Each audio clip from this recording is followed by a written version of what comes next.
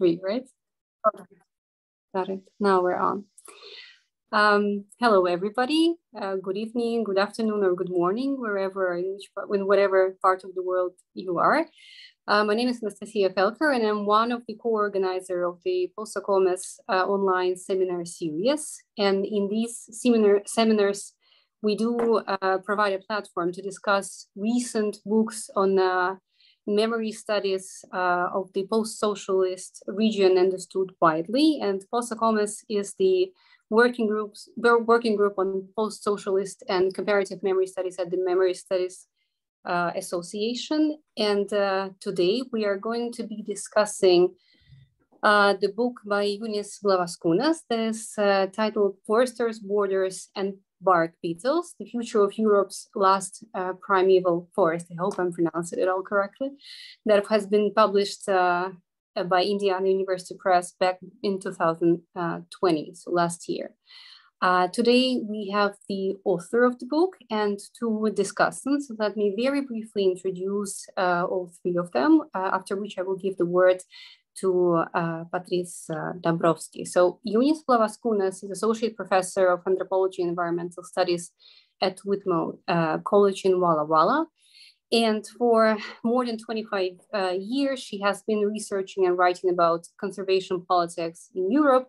She studies how humans recover ecologies, uh, use forests, and conserve nature with a focus on nationalism, post-humanism, and post-socialism.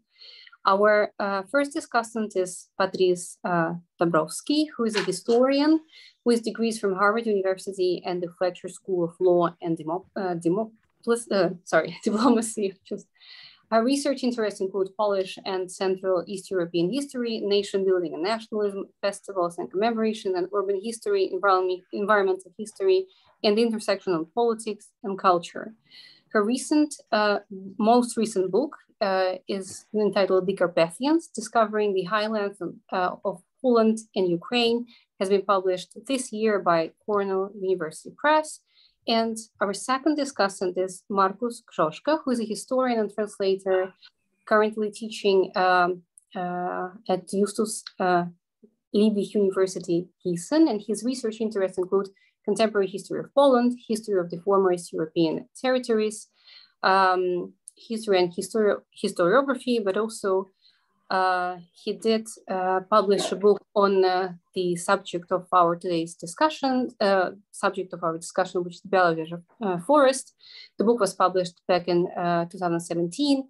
And in 2019, he also co-organized a conference at the Herder Institute for Historical Research in Central Europe that was titled Reimagining Polish World Wideness cross-local encounters and global arrangements. Therefore, I uh, am kindly uh, giving the word to Patrice Dabrowski, who will chair today's discussion. Great, thank you. Well, let me begin by thanking you for this opportunity to read and introduce this fascinating, timely, and thought-provoking book. The author is to com be commended for her nuanced and complex look at the most famous of Poland's forests, Foresters, Borders, and Bark Beetles tells a story of the last protected lowland primeval forest on the territory of Europe, a relic of the past when Europe had been covered with forests. The forest in question is known as Białowieża in Polish, uh, uh, in Belarusian. Parts of the primeval forest or puszcza are to be found on both sides of the border but not all of Białowieża is protected or pristine. In other words, from the very outset, we are dealing with a region that is not fully primeval. The strict reserve on the Polish side amounts to but 9% of the forest. Other parts are lesser reserves and the significantly larger managed forests of the state forests, which are still being logged to this day. As a result, one of the problems facing the region today relates to the ambiguity of Białowieża. In the minds of some, it is equated with primeval forest, which needs protection, whereas for others, it is still a source of employment in the timber industry. In addition, it should be underscored that people actually live in the forest. This book deals above all with Eunice Blavascunas's encounters with the forest, its inhabitants, and its visitors on the Polish side of the border over a span of some 24 years, beginning in 1995. It is not simply a work of environmental history, all it is surely that. Rather, Blavascunas uh, casts her book as an ethnography, furthermore, as an ethnography about the way different pasts trouble nature conservation. A question posed by the author at the outset is, I quote, how does a primeval forest shape multi-scalar historical projects, some intensely local and all ideological? Here I would like for her to parse this further. Are there no non-ideological projects or narrations, or does any reference to a past make them perforce ideological? Uh, the layout of the book reflects Blavascunas's ethnographic emphasis. It consists of seven chapters, all thoughtfully and aptly titled. I will give each in turn as the titles themselves may open up space for questions from the audience. Uh, chapter one, Puszcza of Forests and Time is the introduction. And chapter seven, the conclusion is titled temporal dimensions. The past is not safe at all. The element of time in both of these chapters suggests a major role in the book, certainly in its framing, for historical considerations and perceptions of the past as played out in nature's realm. Sandwiched in between are five chapters dealing with different categories of protagonists, for the most part interviewees. Chapter two deals with the foresters, or rather the forester, per its title, here referring to the idea of the forester and his role as an authority in the region. Chapter three, scientists and the communist past, syndromes, disorders, and a proper elite, shifts to the forester's rivals, the scientists. The idea of a proper elite, which is what the scientists thought they were, or a proper nat nation hints at what is being striven for in the post-communist period. Chapter four, post-peasant cosmo cosmopolitics, rather, man of the forest, takes a look at the peasants or locals, in particular one who made good use of his agency to redefine himself. Chapter five, borderland engagements, relict forest, relict communism, turns to the tourist, the outsiders in search of the natural and the exotic, neither of which may fully measure up to expectations, and a new tourist infrastructure since Poland's accession to the European Union. And last but certainly not least of the substantive chapters, chapter six is titled Resurgence, Outbreaks of Bark Beetle and Right-Wing Nationalism. It presents the saga of and dilemma posed by the climate change induced spread of the spruce bark beetle, as well as its controversial programmatic eradication via logging by the present Polish government of the Law and Justice Party, or PiS. As a historian, I find Blavascunas's ethnographic approach both fruitful, for the chapters are truly illuminating, and at times frustrating frustrating because there is no overall argument for a reviewer to cite. This is not a book guided by a single argument. The author claims that, I quote, would betray the complexity of people in the forest and her relationships with them. And indeed, the book's protagonists defy easy categorization. So, one question would be how representative are the voices the author chooses to cite? A number of them seem to represent the atypical margins, this despite the chapter's focus on discrete groups, although naturally even those on the margins can be made to fit into various narratives. Uh, the book begins with a timeline of the forest's history. It and later texts provide a factual grounding for the stories that emerge in and from the book for Blavascunas's subtle and nuanced approach teases out the all too humanly contrived narratives of Białowieża's past. that is, narratives in the plural. These pasts are not formulated for history telling's sake, but rather because they have implications for the future. The author might just have, as easily have used for her subtitle, The Past and Future of Europe's Last Primeval Forest, but doubtless that would be too long for the publisher. This notwithstanding, each telling of the past, each ethnohistory, colors the teller's view of what the forest is and should be. So why all this talk about the past or pasts? The lowland mixed deciduous forest that dates from the Holocene period has seen more than its share of different regimes, indeed of chaos. For many centuries, it was a protected hunting ground for Poland Lithuania's royalty, meaning that conservation could be found as early as the early 15th century. Białowieża lay on the border of those two territories, Poland and Lithuania, and had a population in the main that we would today label Belarusian. Thus, from the outset, we had a borderland situation, both physically and population wise. All of this complexity was complicated further by waves of war and occupation. After the partitions of the country in the late 18th century, Białowieża came under the control of Tsarist Russia, which alternately exploited and protected the forest. Polish uprisings against the Tsar had insurgents fighting and sheltering and ultimately hanging in the forests. The German occupation of the forest during World War I resumed its exploitation in true colonial fashion, even killing off the last of, it, of the bison. How ironic that the Nazi German occupation in World War II should wish to preserve what was left. For in the interim, the multi ethnic, short lived interwar Polish state had established the first national park and brought back the bison. Following World War II, the pendulum swung once more, as did the borders. The new post war Poland lost 60% of the Białowieża forest, as well as its political independence, to the Soviet Union.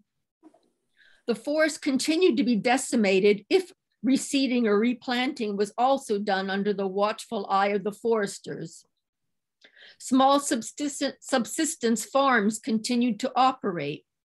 Whereas earlier there had been tension between the Polish foresters and the Belarusian or local population, the population's ethnic identity was downplayed in communist Poland, which after the war had become much more of a pure nation state than it had ever been before.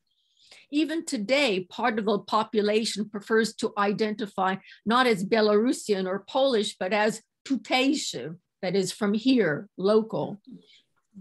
So, what happened to this seemingly backward peripheral region after the Great Caesura of 1989, the collapse of communism, and 2004, Poland's entry into the European Union? This is the period where Blavascunas's research begins. It turns out that the legacy of so many occupations of the Polish fight for independence being fought in the forest as well were the materials from which a new post communist narrative could be shaped. But the narrative that currently is in the ascendant is not the narrative some expected. Post communist conservationists expected a return to or even an expansion of conservation in a world where so few natural spots remain a suitable position to be assumed by a modern, Western developed Poland. Instead, as the book so finely demonstrates, the foresters, supported in the main by the local population, have continued to champion intensive human management of the Białowieża forest. Grist for their mill has been provided by climate change, which has resulted in the spread of the spruce bark beetle in the forest. Foresters in the present government argue that only by logging and clearing dead wood can this be managed, whereas conservationists and entities of an international or global scope decry both. The nationalistic stance of PiS is reflected in its desire to manage its own natural resources without the interference from global or supranational entities. This despite the 2014 UNESCO World Heritage Site designation for the whole of Białowieża, as well as EU restrictions. Those who disagree with PiS are painted as non-Polish or enemies of Poland. The peculiar nationalistic modernity of PiS seems to have found its mojo in the forest. Thus, this work of ethnography and environmental history is right in the middle of present day memory policy. So, so much for a summary and ways of, of where the book goes. Let me pose a couple of questions before I pass the floor on to Markus.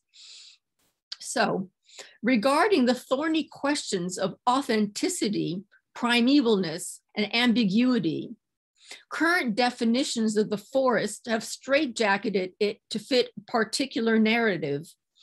Is there any way of getting around this, barring writing a book like yours that seems to cover all sides, both what has been forgotten or omitted, as well as what has been remembered and emphasized? As someone who knows the forest better than we, the readers, do, how would you define Białowieża?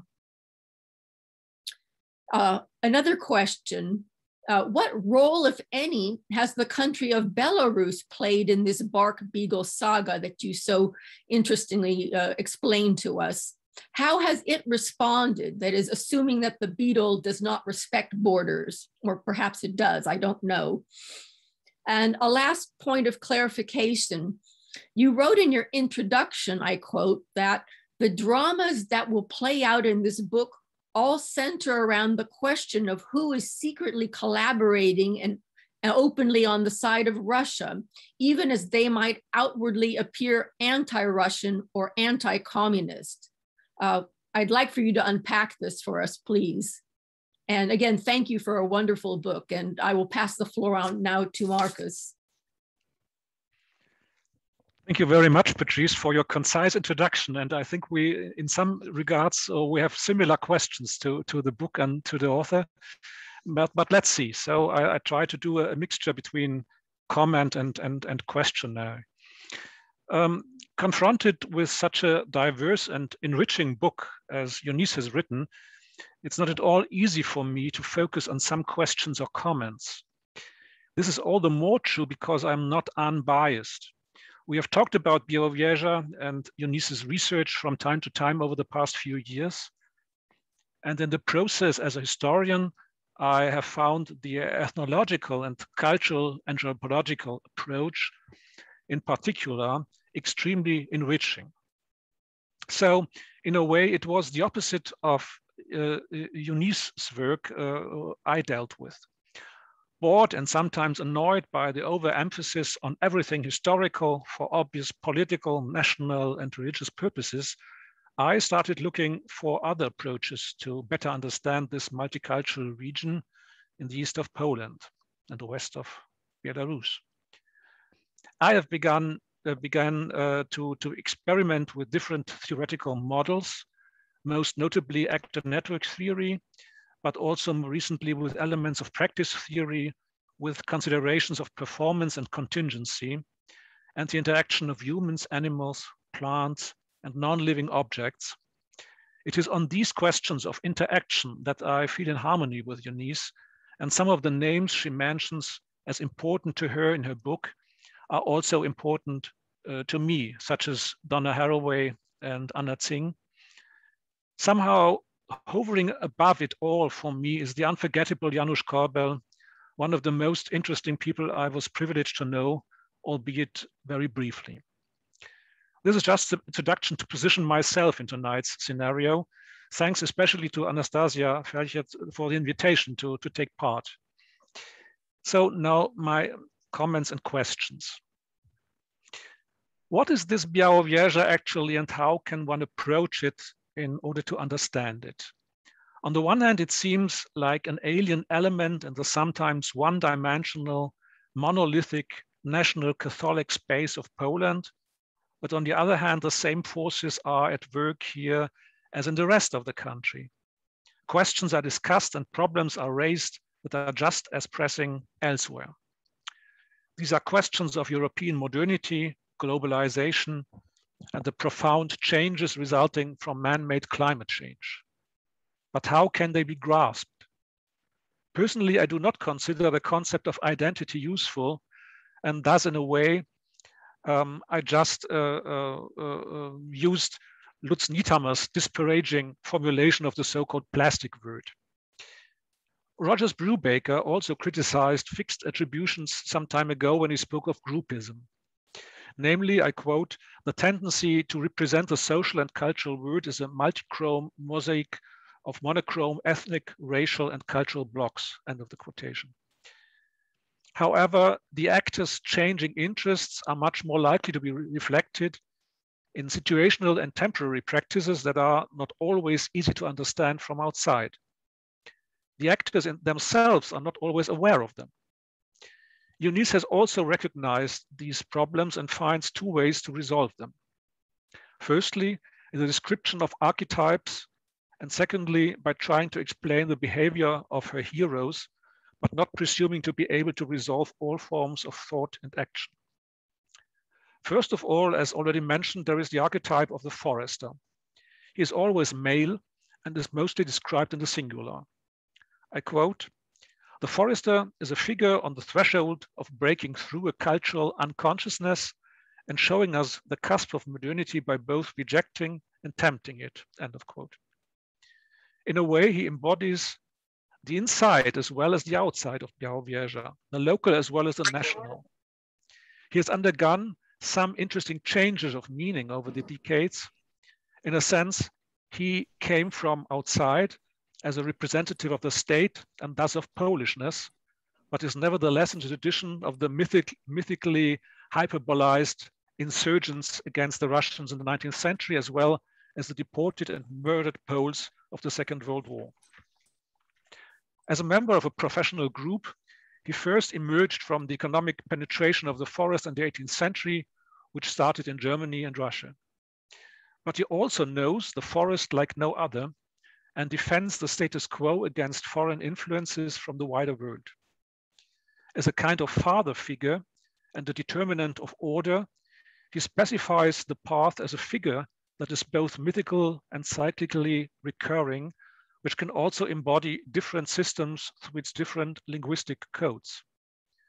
In the German rural context, too, he was and is a kind of respected figure, a steward of nature. This image is not entirely positive, however, but, an, but can also turn vicious, as for instance in Ernst Jünger's novel den Marmorklippen on the Marble Cliffs from 1939.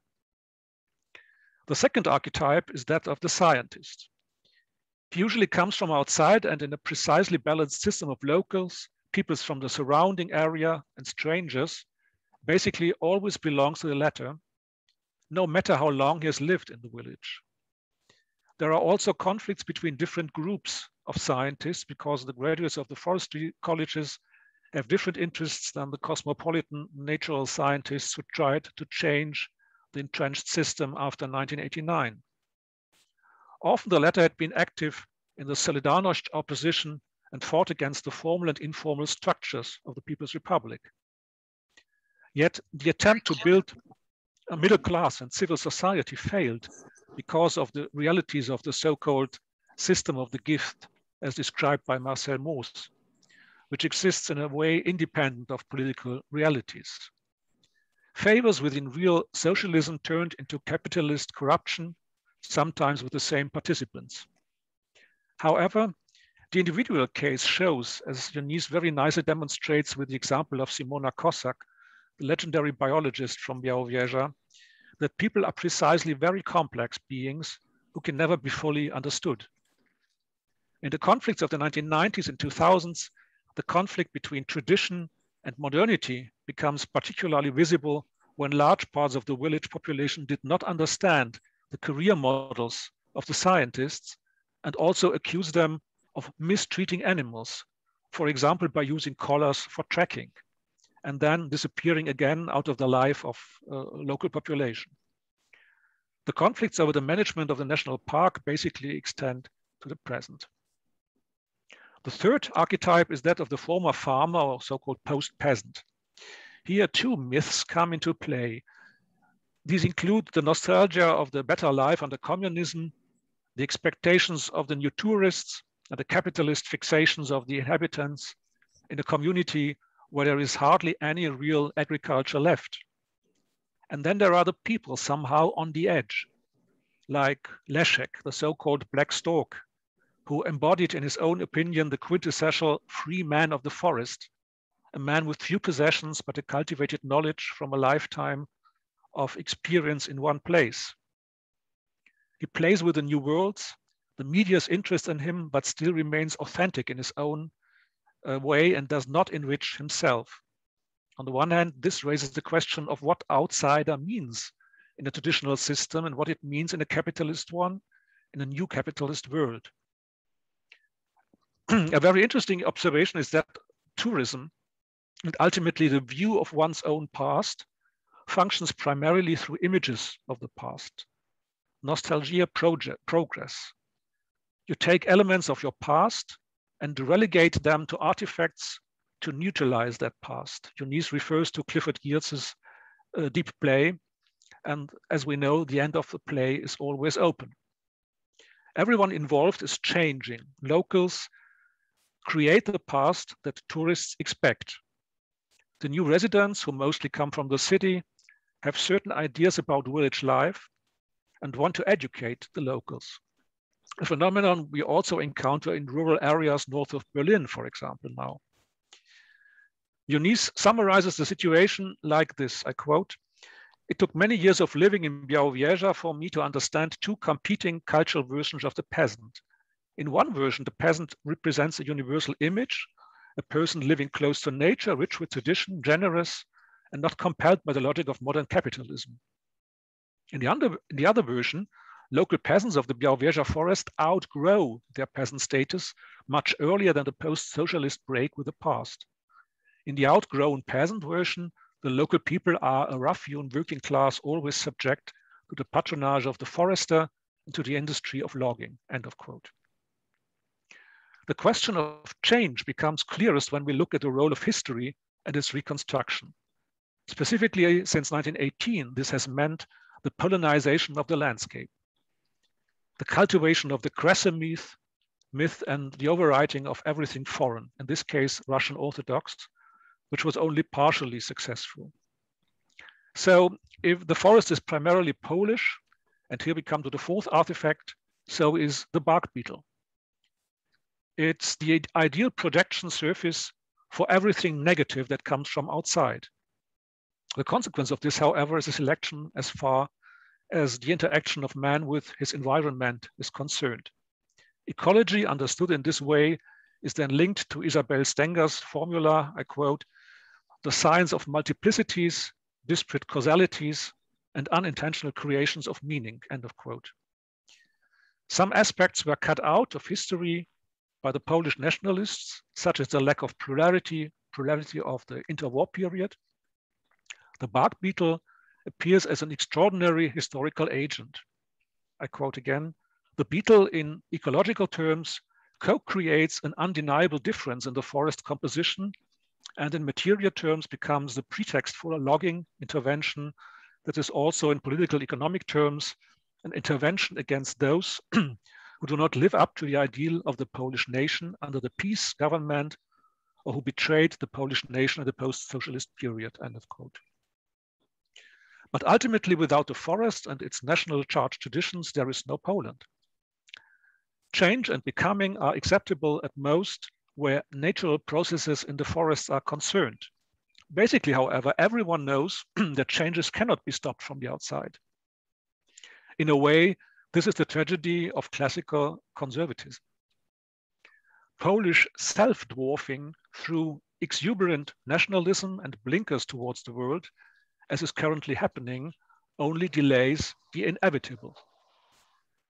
The book is not primarily about phenomena of memory quite the opposite, one could say, because large part of histories are still taboo.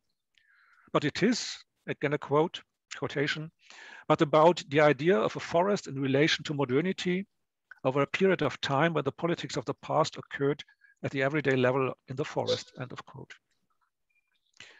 Returning to my first point, it is precisely very difficult to find a vocabulary that can capture and illuminate when individuals followed the political ideologies that were supposed to correct the past and when they were more committed to their respective social groups within their respective social hierarchies. Peasants, entrepreneurs, foresters, scientists, aristocrats, forest activists, nationalists, and communist sympathizers were, categories with staying power, but formed according to the person or individuals or social groups. Between these types of social actors and always in the midst of the forest, there seemed to be a contagion of ideas about the past, writes Eunice.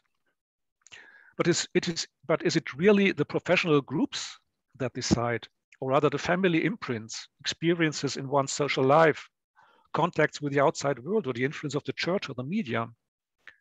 The concise examples Eunice has given us seem to point in this direction. However, this makes things infinitely complex but we rather need simplifications, a selection to understand things. Eunice, as a good anthropologist always does, kept questioning herself. But not everyone does that. How can we as scientists deal with the fact that we create good narratives, but can never overview the totality of phenomena? I do not want to go further into other interesting aspects here, such as the question of nature conservation and modernity. Rather, in order to understand Białowieża's even, Białowieża even better today, I would like to know what it actually stands for. That's the same question uh, uh, Patrice already posed. Um, is it still the, the other, exotic, and thus perhaps also threatening Poland, as which the entire Eastern territories were understood in the interwar period?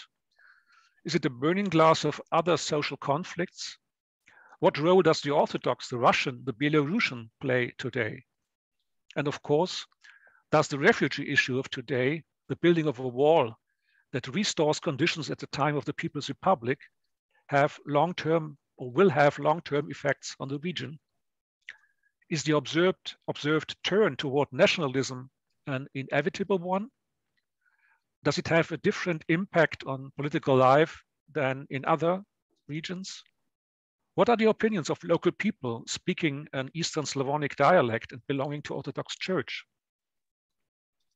To conclude, Eunice has written a book on Białowieża from an anthropological perspective, which is fed with additional elements of other sciences, especially history. she wrote a book I would have been glad to write in from, uh, uh, from a historical perspective, which is fed with additional anthropological elements. If I had the opportunity to do so. I greatly benefited from reading this book, although I knew or at least suspected most of the author's assessments. On the one hand, she gave me methodological suggestions on how to better understand the history and present of Białowieża. The other, she has combined aspects into a narrative that I would not have suspected, and she has helped me to better understand people I have met either in reality or in her texts. I really could not have expected more. Thank you very much. Thank you, Markus. Let's give the floor now to Eunice to respond to both of us. Wow. Thank you both. Um, I, I, feel so enriched by your comments, your reads, um, your provocations. Um, so just thank you. Oh. Sorry. We'll ignore that.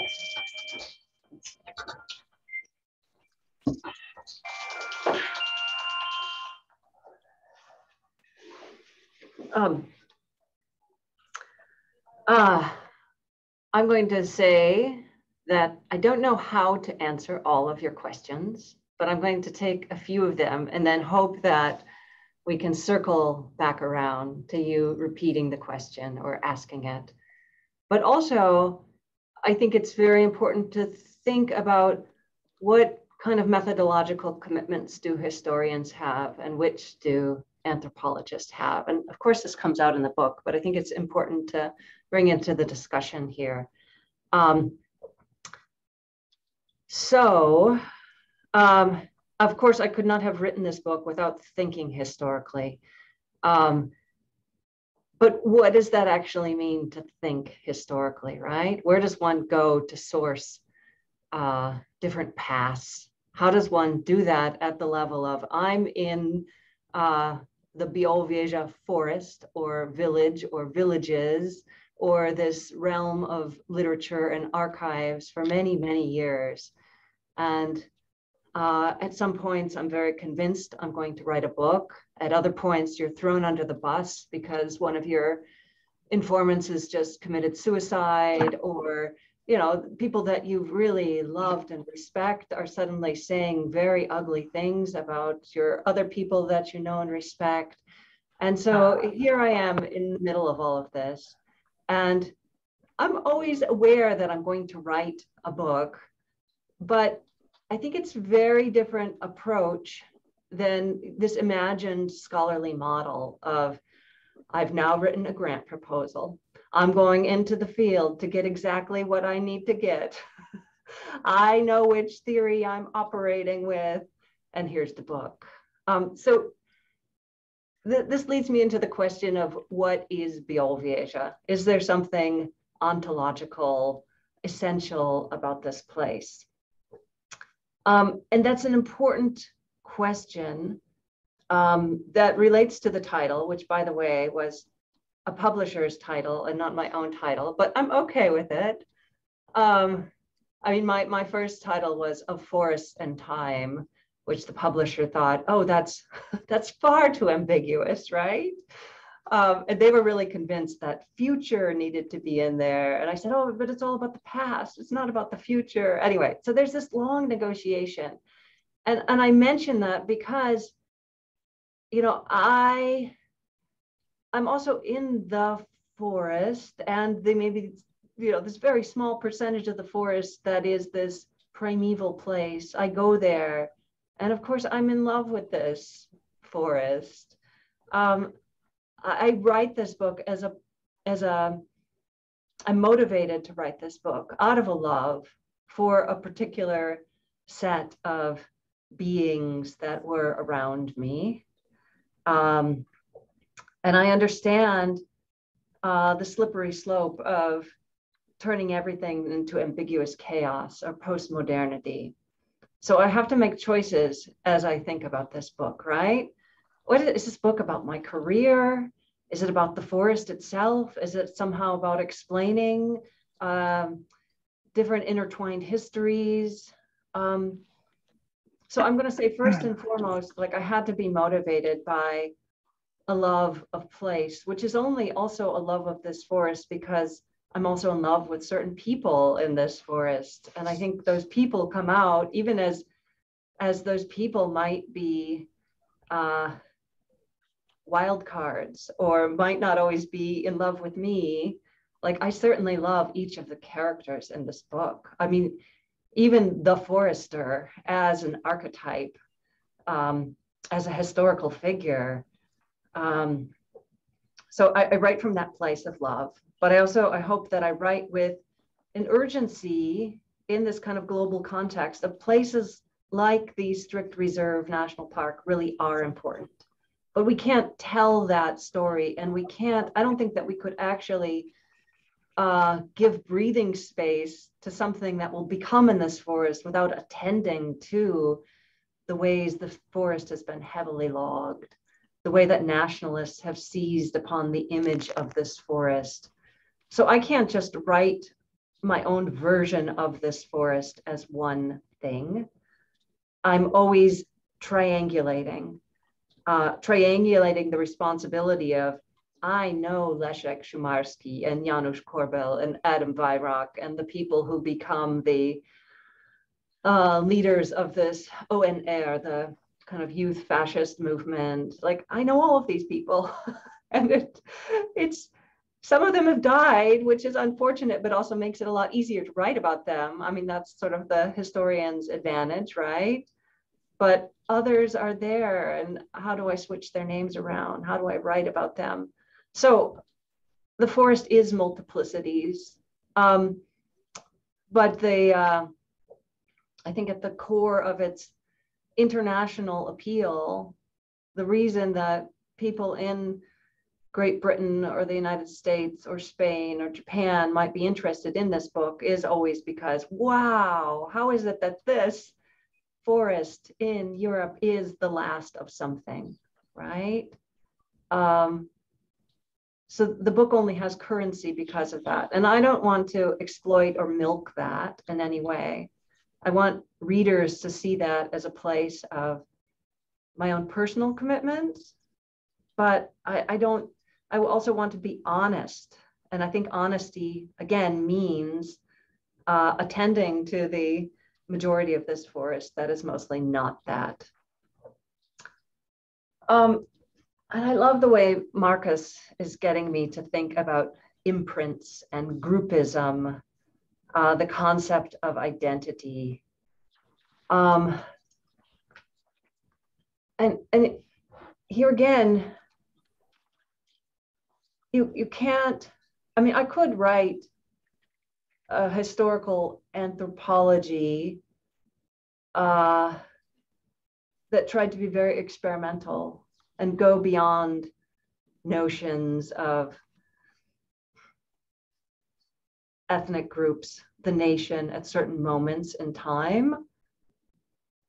But I also feel like that's irresponsible. I have I think there has to be some way in which we're attending, uh, I'm attending as an anthropologist to what it is people say about themselves and how they identify while still doing the, the theoretical work, which for me had to happen chapter by chapter.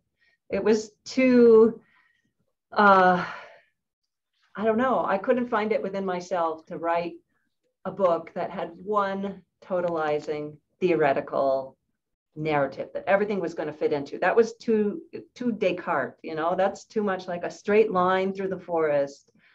Um, so yeah, I hope that I've done that through each of these characters, which in many ways, each of the characters, aside from the, let's say the the bookends here, we have the chapter two, which is about the forester, and we have chapter six, which is about bark beetle. Um, and then in the middle, there are really like I know this person, they have this story. Um, those characters are oddballs. They don't easily represent, but you know, uh, this is famous American anthropologist Paul Rabinow who wrote this book, uh, Reflections on My Fieldwork in Morocco. He was Clifford Geertz's student. Um, it's a, a very dated book now from the 70s, but he actually writes about how when you find misfits, they're so generative for the anthropologists because they actually show you why they don't fit. Um, and then you get to explore all of these other sets of meanings that exist around them. Um, so I hope that nods to or gestures to why I might write a book in that way. Um, let's see here. I'm sort of the title of the book. Um, it probably is a, a, book that a title. I mean, I came down with like, all right, let's call it then Foresters, Borders, and Bark Beetles. And the publisher said, well, how about the future of Europe's last primeval forest? And I'm, I don't now regret that future is in there in relation to temporality, in relation to much of the books focused on the past. Um, because oops, I think somebody's unmuted here. I know, I know, I know, I I know you don't. I you know I don't. Okay, I'm opening up, post, opening on my email. You know, I there was. Excuse me. Could, could you please and could you please mute yourself? Yes, thank you so much. Sorry. That's okay. Um, I lost my train of thought a little. Oh, the future. Yeah. I, I think that question in the title makes us think about why are why are any of us writing books about the past? Um, and our, uh, you know, and here we get to Patrice's question about the ideological. Is there any way of getting around this? Um, and uh, I think that each of us has an obligation as a scholar to be thinking about worlds that are possible into the future as we write because of what has already occurred. And the ideological for me is when, uh, you know, the narrative becomes too narrow, when uh, we foreclose the possibilities of the future because we think that the future has to follow this pattern of the past. And I think the, the quote that Markus um, referred to from Isabelle Stengers suggests exactly that. That um, and I don't have it right in front of me, and we could go back to it. But I think our obligation as scholars is to uh, open up possibilities for the future again based on what the past is or at least that's my set of obligations as, as a thinker and not just as somebody who wants to write a descriptive history of the past that's sort of limited by everything else that is already written about the past. And this is why i continue to find anthropology exciting because it lets us go to voices which typically don't always find their way into history, um, voices of ordinary people, odd events, smells, insects. Um, yeah. So maybe um, this would be easier for me if we go back to Patrice and Markus or other folks to then sort of ask me what what questions I'm not thinking about. Um, what questions you'd like to explore further. And I'm happy also just to open this up so that I'm not the only voice talking. I think a conversation would be really lovely around, uh, yeah, how do we do these questions? And I don't know if everyone in the room has read the book or not also. So I'm, I'm happy to uh, take questions from those maybe who haven't read the book, but are really uh, excited about the pathways that Patrice and Markus have laid out. Mm -hmm. Uh, would, would you like just to open up the floor then, or, or Markus, do you have something that you want to continue uh, uh, exploring with Eunice uh, before we do that? Not necessarily. I think mm -hmm. we, I, I, could I, I, could do some some more points or the same points again uh, in, in the talk of, of, of, of discussion. But uh, if anybody mm -hmm. else has some questions, I, I think it would be highly mm-hmm. appreciated. Yes, why don't we do that then? Why don't we open up the floor for some questions? And then, of course, Markus, at some point you can come back in with some more questions or follow up uh, for Eunice as well. So let's take a look if, uh, how, how do people here respond with questions? Do you raise your hand or you just speak up? Uh, Both. Both. All right, I'm looking for hands or looking for comments or questions or clar points of clarification or Let me see if I can get, so I can see everybody. Or the questions might also appear in the chat. So dear audience. Ah, let me look at the chat. Okay, but, hmm.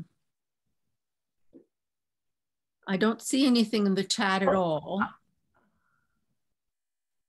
I could uh, maybe take us to another direction. Mm -hmm. um, and you know, I think that would be a, a, question we could have between historians and anthropologists. And I don't know um, if other people in this room are from other disciplines. Um, maybe there's some foresters in the room. Um, yeah, I mean, I, I, am very interested in, and Markus, especially in your book, like what kind of obligation do you think you have to the future in, in writing your own book about this place? And I should say Markus's book was written with two other authors um, and looking at the UNESCO World Heritage Site, the Bison. Um, it's in German, so I haven't, I don't know if I've carefully understood all of its arguments, but. Well, I, I think uh, uh it's it's it's a quite traditional book. So I had within this, I had I had to write with the same way my colleagues did. So rather traditionally, as a as a typical historian writes about facts, how it could have happened, how it happened, and uh, uh, especially uh, you, you, already mentioned the the the the, the term the, the, decisive term of time. For historians, of course, time is the most decisive factor. And uh, but as I as I see in your book, it's it's it's almost the same. So without time, you couldn't have written such a book. The, the factor of time. So this is not this is not the difference, I think. And and I've learned uh, with within my my let's say scientific life to to to change the way I write books or, or write texts. And I learned that uh, that as you as you said, uh, it's better to to present open models, to to to leave space for for discussion, to develop thesis uh, which can be um, mm, fruit, fruitful or not, but it's not that one sole question you have to answer dealing with a problem.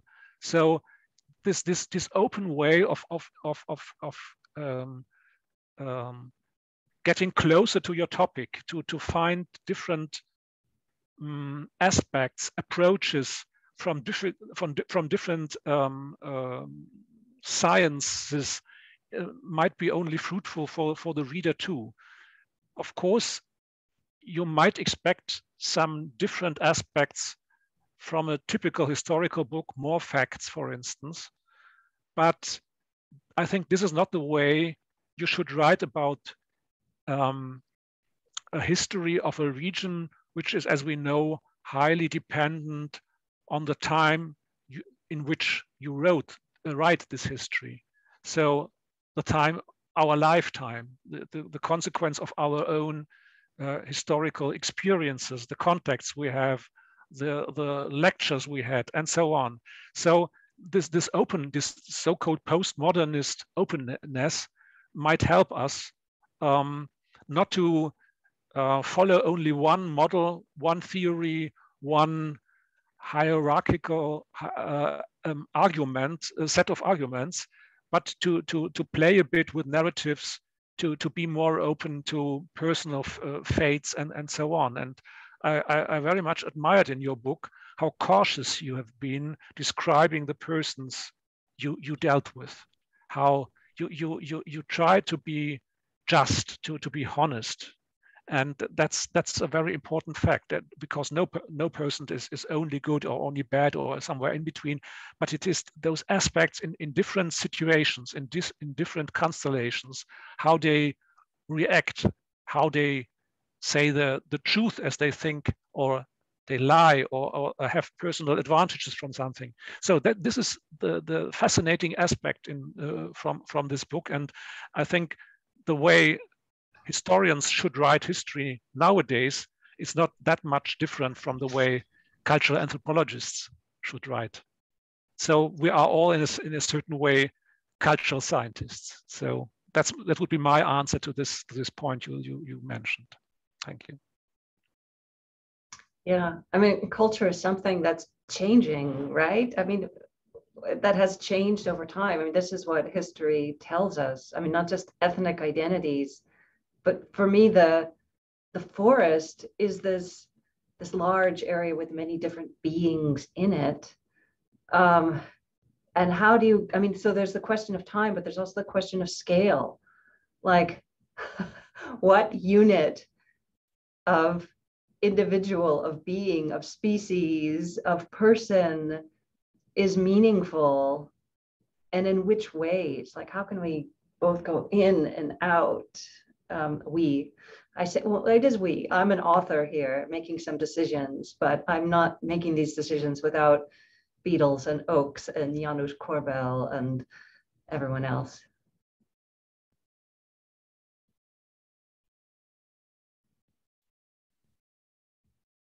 Well, I guess I would just add something to a point that Markus already made was talking about your honesty. This is something we, I think we're all underscoring.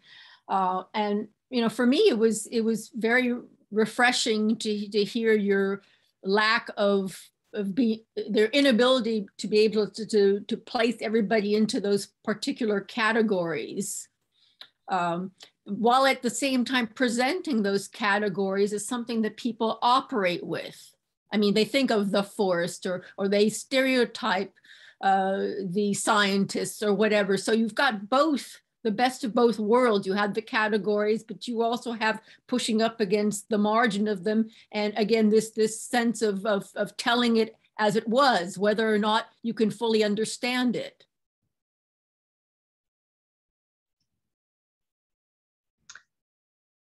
Yeah.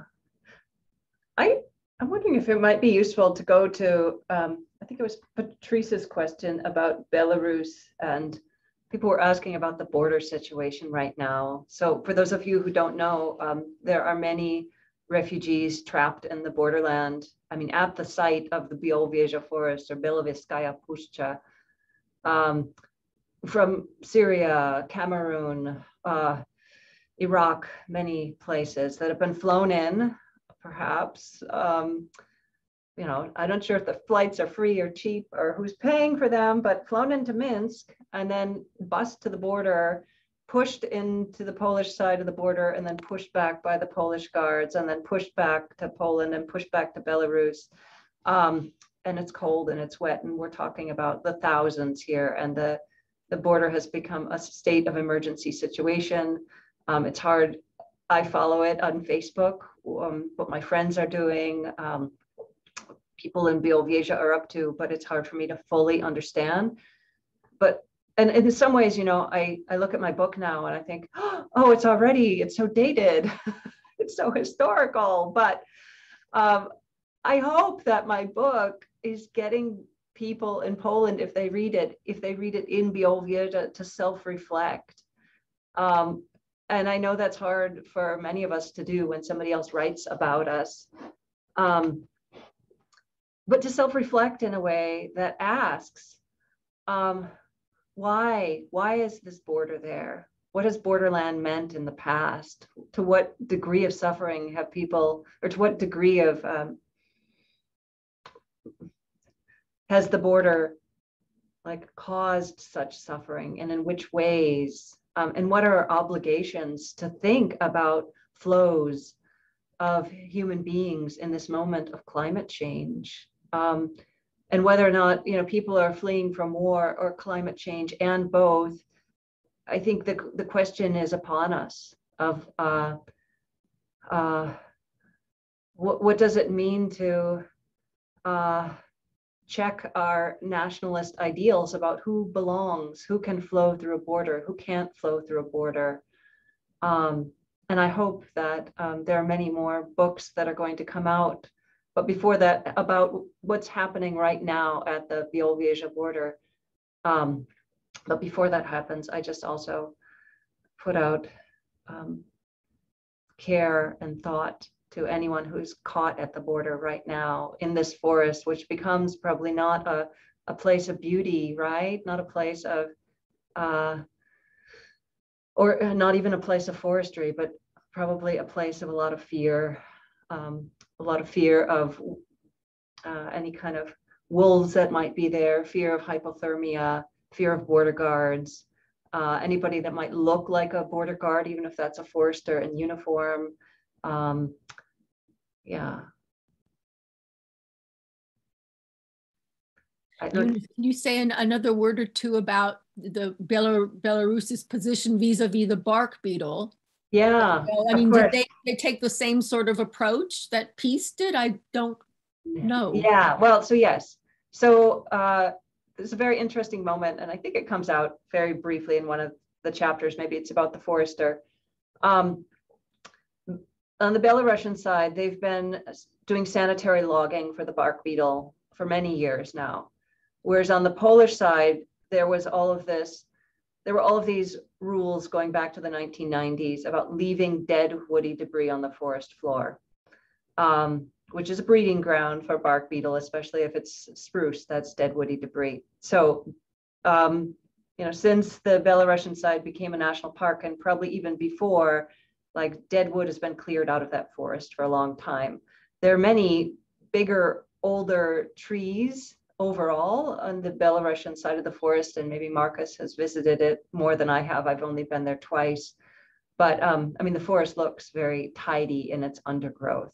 So, uh, you know, it, it, uh, there was a point maybe around the year 2000 when all of these Polish foresters were looking to Belarus and saying, wow, Belarus really has this right there. The forester really has authority and control. But the forester in Belarus, they all worked for the national park and you had sawmills within a national park that was also managing for bark beetle and doing logging and, uh, you know, had everyone working, anyone who lives on the Belarusian side of the forest generally works for the, the national park um, but the national park meaning logging and tourism. So.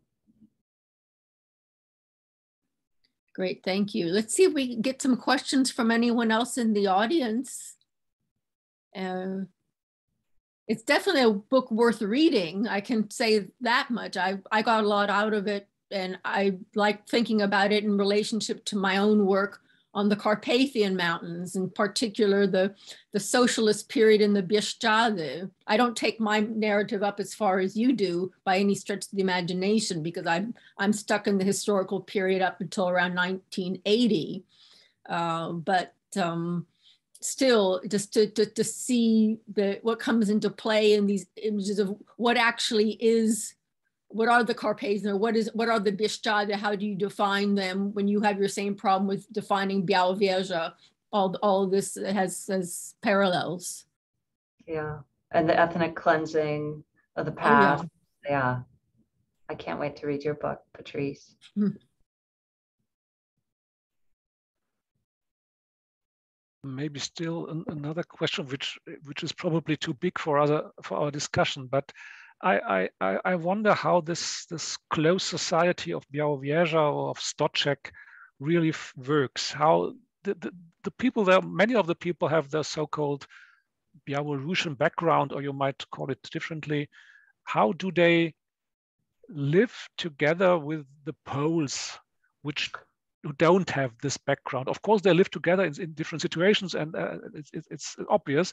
But do they do they um, implicitly rely on their own traditions when they behave in a way, for instance, um, supporting national Polish politics concerning refugees, concerning nature conservation, and so on? If the, is there such a difference, or is it is it too too big a, a, um, a difference which uh, you, which is not uh, defined by their national belongings, but rather their situation in different groups or in, in situations they worked in everyday life.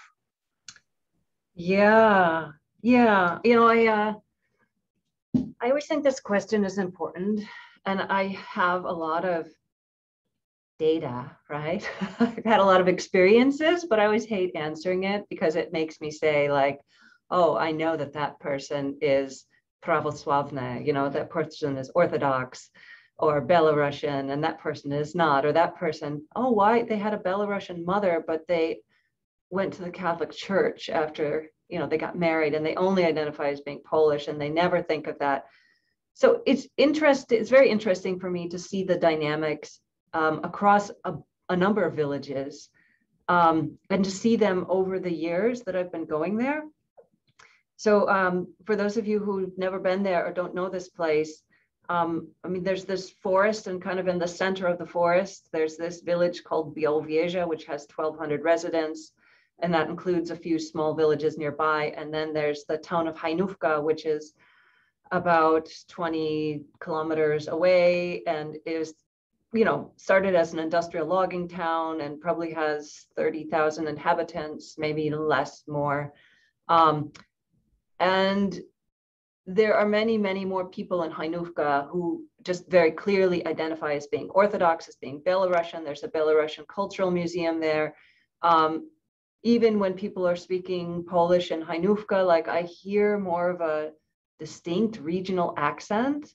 So in so many ways, since I've been going to Białowieża, the village, the center of scientific institutes and uh, the national park, like I've really seen an undergrounding of identity, of a Belarusian identity.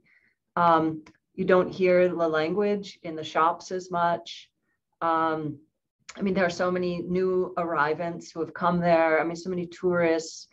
So I could still tell you which families uh, belong to the Orthodox Church, and you know, there's. It's not like I personally know 1,200 people. like I might know, you know, 100, 200 people. And, you know, of those, when I return, maybe I visit 15 families or people that I really enjoy and know. So I, I don't want to appear as like I'm an expert on who identifies in which way. Um, but what I saw, I mean, with the, the kind of rise of PiS was that there was a strong um, voting opposition to PiS amongst those who saw themselves as Belarusian. But there are many people who voted for PiS that I know whose maybe grandmother was Belarusian and then she married somebody Polish and they might still have in their family this like, oh yes, at one point we actually lived in what is now Belarus, but now we're here and now we support PiS and let's not talk about it. Um, so I, I mean, how to interpret that? I, I do interpret it as a kind of Polonization of the region through media, right? Through tourism, through education in schools. I mean, there's a Belarusian language high school in Hajnówka today, but where I don't think all classes are taught in Belarusian, but that's it's sort of known that like this is the Belarusian high school, and maybe there's still a class in in Belarusian, and then there's the Polish high school, and same with um, in Bielsk, uh, Biało. Sorry, I might be getting the name wrong. I'm I'm far away, but which is you know another maybe 40 kilometers from uh, Hajnówka. So there are places, I think like the closer you get to the centrality of Białowieża becoming a Polish forest, you know, this the way that PiS has worked on this forest, the more you see this receding of Belarusianness, I think, into the private domain. Whereas just outside of the forest, you still see a lot of identity around being Belarusian and opposing PiS, but also um, you know, not being strongly politically active, I would say. Um, this is something that comes out in my book as well, in, in a kind of oppositionist sense. And I know I also want to emphasize like there are so many stories within this region, and I can only tell one part of them. So take what I tell you as as being very partial, informed in conversation with people over many years, but still partial. Yeah, Anastasia.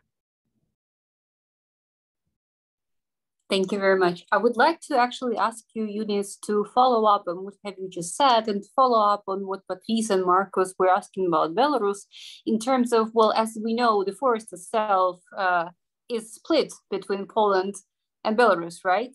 But the book, however, follows the Polish part of the story of the forest um, and my question is whether your decision not uh, to tell the story of the forest from both perspective, perspectives actually follows up um, on the very methodology which is anthropological. And this means that you would have need to spend another 20 something years right in between Poland and, and Belarus or like what does this decision uh, depended on and like why you went for, for the Polish property, not Belarusians. Although, as you have just said, these two um, sides of the stories um, identity, let's put it this way, are closely interrelated. Yeah, yeah, this is purely practical. Um, yeah, it just, it, um, within the book, I unfold how I came to the Polish side of the forest, how I came to know people. It's a language issue. I mean, certainly I could learn Russian and uh, and I have ambitions to do research in Belarus, but this is not exactly the moment when uh, Belarus is open to an American researcher who's written a book like this. Um, yeah, yeah. So it's purely practical, uh, but I would love to tell more of the Belarusian side, which Markus's book does.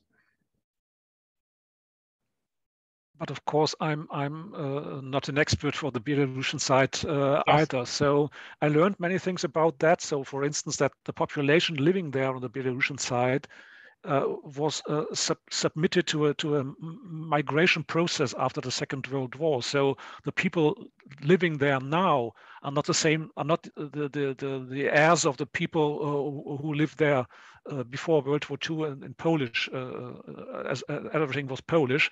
So of course there is a different way of feeling.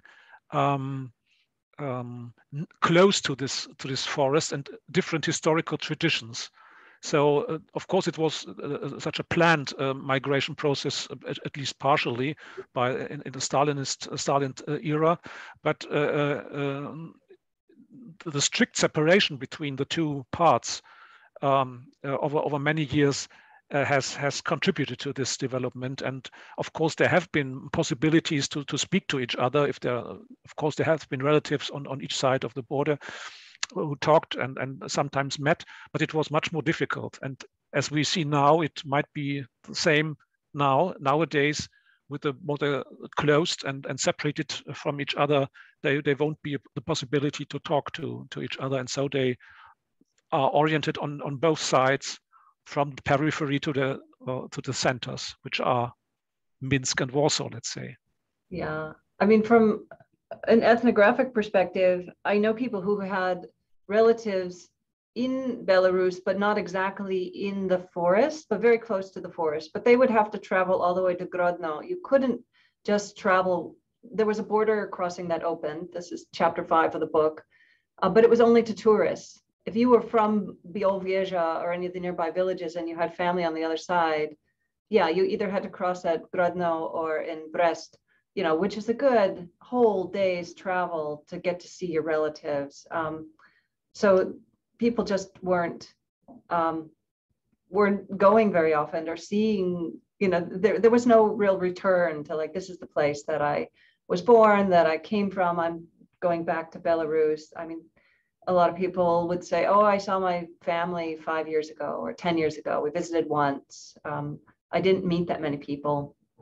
But you know, interestingly, before Schengen, there were so many Belarusian petty traders who came into Hajnówka and then even went into the villages of Białowieża selling cigarettes, underwear, uh, knickknacks. I mean, anything, just knocking door to door.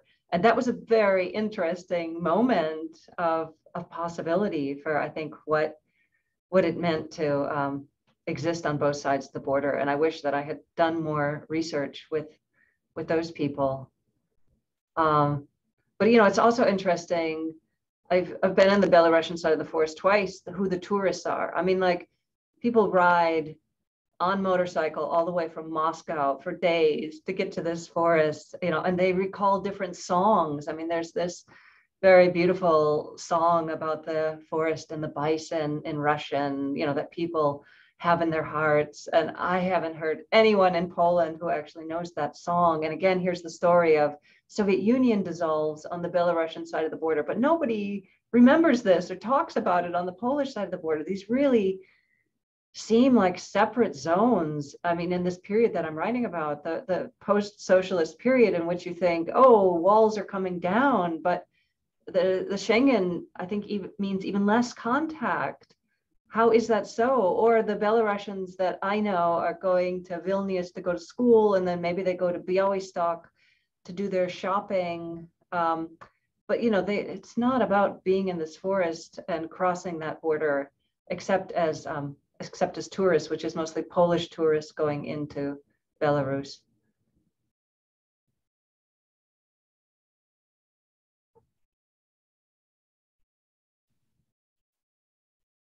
Well, I'm still trying to see if we have any possible questions coming out here. I, am enjoying this discussion very much and learning even more about the book and about the place and people. Uh, no, no more voices here. No more cat meows, I see. Cute cat there. Ah, that's right. Someone does have a cat up. Um, I, am assuming this is more or less the last chance unless we have some more themes that we want to, to uh, follow up on.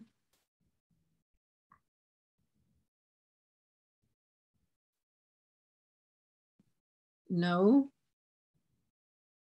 Well, I can I ask, the historians here. Um, I, I think Markus said this isn't really a book about memory, and I would agree. But could we have a discussion about memory and um, you know is is memory something that's written historically? Is it something that uh, haunts one? Um, why, in your interpretation of the book, Markus, do you think that this is not really a book about memory? How, how does that category memory work? I think that that memory is especially connected to the past, and and your book is is is of course some some aspects of history and historical uh, events and so on, but it's rather a book about about people, about the situations, uh, places and time, and and stories, but not not also not not only about the how the how the people remember the past, how they shape the past, of course, this is a part of it, but it's not not not the central point. I think it's rather the central point is the place and, and time, and um, not the way how they interpret um, uh, the past and, and create new models in order to um, to to to have personal, political, economic, and so on advantages from it. I know that is no that is this is no not a not a definition of memory because of course you could understand memory in a broader way, and if if you take everything which is uh, connected with this so-called um, second uh, uh, dimension of, of history is, is called memory, then I, I could uh, I could agree that it's somehow also a book about memory. But my interpretation of memory is a bit narrow, more narrow, narrower. So Mm, it's rather it's rather uh, uh, such such a feeling, as I know that that many studies about uh, the the factor of of memory in history and uh, um, places of remembrance and and and so on, lieu de mémoire. Um, and and that that's something quite different. But maybe Patrice has a, a different opinion in, the, in in this point, or some somebody else. I can jump in. Um, there is this um, new new category uh, appearing now, envir environmental memory, which is promoted uh, in Poland by this historian Małgorzata Praczyk. And uh, so, so maybe if we when we if we shift in understanding memory from this political, historical, uh, thinking about events, about our identity, into the uh, into the sphere of nature and how uh, remembering nature and uh, building a relationship with some na natural places uh, how it uh, so so so uh, maybe that this was there actually in in the book. And the, here is the question to Eunice. If you if you encounter that that category environmental memory and would you would you ag agree if you you you some you, your book somehow can fit into it? Oh yeah. Um i haven't read the author that you mentioned but i would love to. Um and you know i i nod to simon schama's landscape and memory. Uh but you know there he's thinking about how memory resides in landscape and not the other way around i mean there are ways in which I know environmental historians are trying to think about, uh, you know, in the environment, and well, you know, maybe I I feel like memory is this category for me that uh, is hot, and I don't want to touch it because I it might commit me to other frames of thinking. But the way I most think about memory, I guess, is this imprint, which is a word that Markus had us focusing on earlier. Um, and for me, I mean, that bark beetle in chapter six is doing this imprint by being very active. You know, it's it's leaving an imprint in trees, but that imprint is not something that's like a bas relief. That imprint is like, oh, now the tree is falling to the ground now the tree is uh, the tree is moistening the soil, which is so important in this drying out period that we're living in. Um, and then what's what's happening in that area of soil that might be more moist? You know, I mean, I want to think about memory in terms of that forest, not only in terms of like, oh, did this cursed soldier um, kill some Belarusians? But I, I see this not as separate, right? The way the bark beetle is behaving, acting, having this outbreak, and the way humans are coming together um, to also maybe do some forgetting about the past.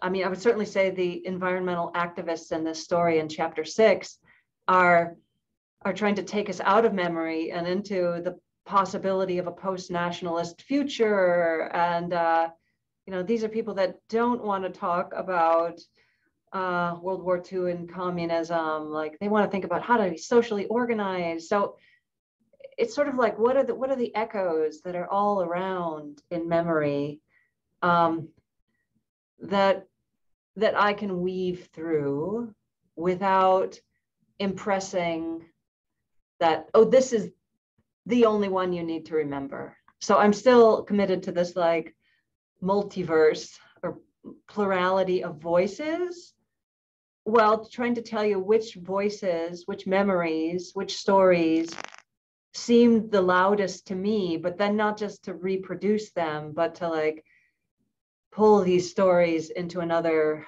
um, into another realm. And that realm is not just a hall of mirrors, like, oh, here are all, all of these stories refracting off of each other. But I see my work as as political in the sense that like, where do we want to go from here? Like here's where here's how you showed yourself to me and that's because of these limitations but like really what are the possibilities for imagining this forest into the future based on what the creatures in this forest are doing based upon what the humans are saying about the past but how do we how do we create a little opening to say oh can, can we look out and maybe see something new that we hadn't saw before that's going to i mean this is the you know very donna haraway uh, example of the cat's cradle game Sorry, I, I know for the people who haven't read it, it makes no sense. But Donna Haraway is always trying to get us to think about how things are configured together. Um, and this is, you know, actor network theory too. Um, that it depends on who is assembling and how and what kind of political agency they can bring together. But these assemblages can can fall apart and form new assemblages um, based upon the ruins of the other one. I mean, this is that kind of ecological thinking. And so can, if you could put in the chat window the name of the, um, the main thinker of this Polish movement of yes, environment and memory. Yes, uh, she she's just now working on a translation of her book. Uh, she was our guest uh, here in September, and uh, the recording of her of the seminar is on our website. Excellent. So, so yeah, I will. But, thank you very much, Anya, for, for this for this hint on on uh, um, environmental uh, uh, memory, because I think this this is a, a possibility to, to, to develop further our, our understanding of, of space and of time. And uh, and uh, as I as I know I I, I, know the, the the research of of, of Małgosia and mm-hmm. and she is she was to my mind the, the very first in Poland uh, who who tried to to develop such such a model from from a historical but not all uh, not only perspective and um, and um, I've, I for myself tried to to to write such a such a assemblage text about Białowieża, which hopefully will be published next year after peer review. I don't know, to to to describe how we could we could we could experience Białowieża with all our senses, but but knowing that it's only an, a temporal and personal and very subjective way of understanding this region. But this is this would be also a trial, the same as Eunice did, um, to open much more points, much more aspects, and not to be in a certain way totalitarian to define what Białowieża is and always has been. So, so let's see.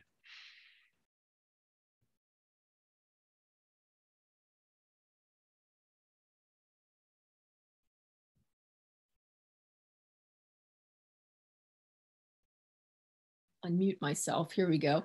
Uh, any last words, Eunice? I think we're coming close to the end of the period. I think it's it's been a very interesting conversation. I've certainly been learning a lot from it, getting everyone's different points of views on the, your subject more broadly as well as uh, focused on the book itself. Yeah. I just want to put out a big thank you to everyone, to the organizers, to Patrice and Markus. Um, it's just an honor to, you know, so much of writing a book is sitting alone in a room, and I know many of you know that, or an article or anything, and then just to realize, oh, uh, something that I created with all of the other beings in that forest um, is growing, is spreading, is changing. Um, that's very rewarding. Um, so thank you. Well, thank thank you for writing the book that we so we could read it and enjoy it and profit from it. All right. So we will be then concluding. From the organizers, thank you very much, Patrice. Thank you very much, Markus, and thank you very much, Eunice, for um, the idea to, to have this discussion in the first place. And dear audience, uh, we would be very, we would like to welcome you in five weeks for our December seminar that will take place on December 6th. And you could see uh, details of the event on our website uh, already. We will be discussing the book by Stephan Jaeger, The Second World War in the 21st Century Museum. The, actually, because there are several museums to discuss. And so the topic that is very close to a lot of people uh, that are in and around the PoSoCoMeS um, circle of interest. And uh, see you all hopefully in five weeks. And thank you very much once again. And I'll stick around if anyone wants to talk afterwards, if that's okay. Yeah. Sure.